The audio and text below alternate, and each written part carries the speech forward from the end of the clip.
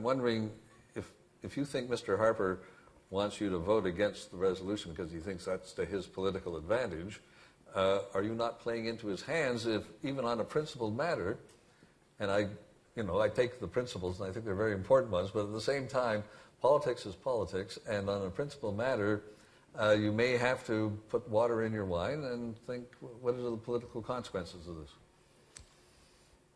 In a room like this, it's easy to say politics is politics and we have to do this.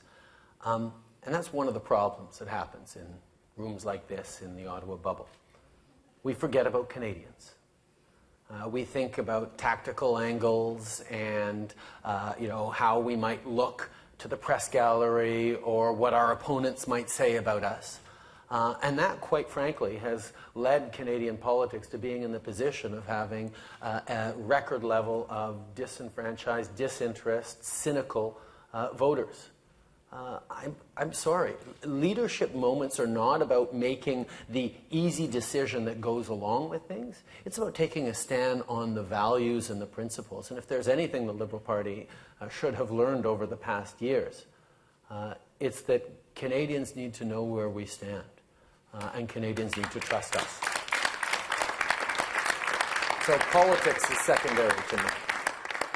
So will you be uh, Jean Chrétien, though, you still want to see the proof is the proof is the proof, or are you pretty well made up your mind that it would be better for us to stay in a non-combat I, I, I haven't made up my mind, but the onus is on Mr. Harper to demonstrate that a shift from a non-combat role that we've established right now uh, to a combat role is the right thing for Canada, the right thing for Canadians, but also the right thing for, for, for, the international community. There are an awful lot of things that Canada can and should be doing. I mean, you look, think, about, think about Canada's reputation around the world and what we've done around refugees.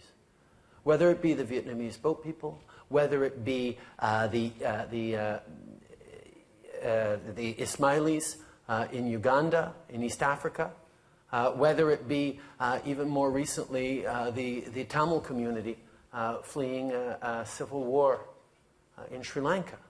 You know, Canada has been a place that draws in and helps refugees in a significant and serious way. Now, in this situation, we're talking about hundreds of thousands of displaced peoples in the region who aren't looking to all, you know, leave the region. That's where their homes are. They need support to get through uh, this very, very difficult time. Canada has a capacity and an expertise in doing just that.